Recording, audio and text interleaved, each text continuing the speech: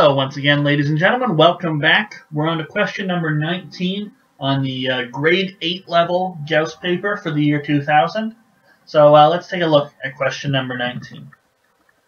And it looks very interesting. I really, I'm really intrigued by the diagram over here on the right hand side. Uh, a paved pedestrian path is 5 meters wide A yellow line is painted down the middle. If the edges of the path measure 40 meters, by, and 10 meters, 20 meters, and 30 meters, what is the length of the yellow line? I think that's actually a really interesting question. Okay. So, uh, let's draw our diagram and see what we can uh, get working. So, we go, whoops. Let's draw this a little better, at least to start off. So we go over by 40, then we go down by 10.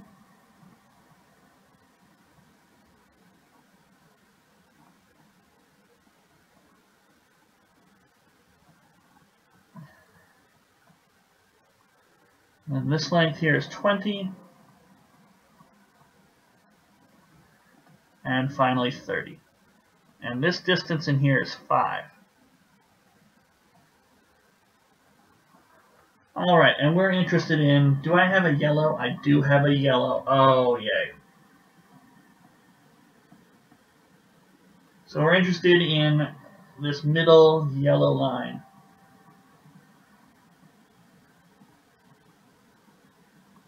Okay, now we know he's halfway, uh, I'll use red to mark this thing up we know that it's in the middle. So on either side,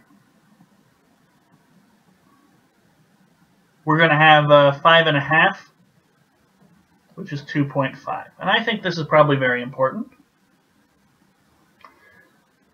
And so uh, let's label some other places where we get 5 and a half. So red will be, or sorry, uh, half of 5, so 2.5. So anywhere it's red, that's going to be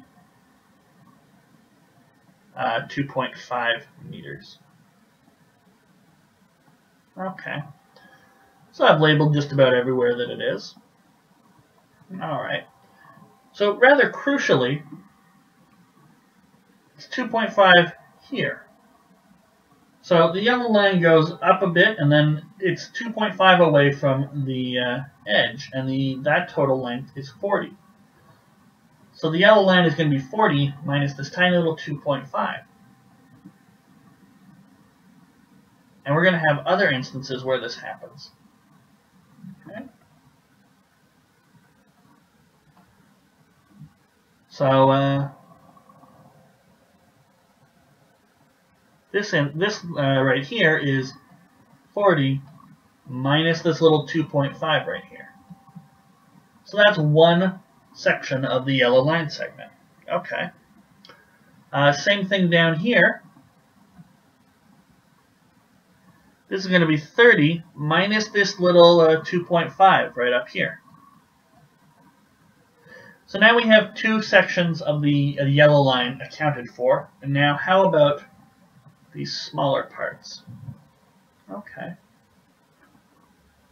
Well, we know that this whole distance here is going to be 20 plus 5,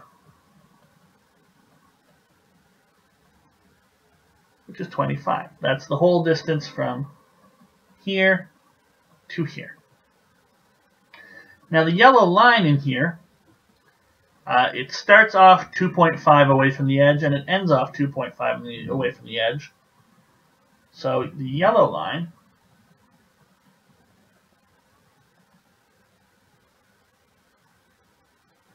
is going to be 25, because that's the total length, minus 2.5 minus 2.5. Okay. And now we just have uh, this final length to work with. Well, uh, we were to take a look here, we'd find ourselves with a distance of 5. And so that means that overall this uh, section, this sort of 2 bit, is going to be 10 plus 5, 15. And so that means that uh, this line segment in here, well, it's bounded on either side by 2.5s, so it's going to be 15 minus 2.5 minus 2.5. So let's use the green pen to uh, highlight this is part of the yellow path, this stuff's part of the yellow path, this in here is part of the yellow path, and this calculation right here is part of the yellow path. So, admittedly it's messy, and that's why I don't do these things silently. We have a total length of 40 minus 2.5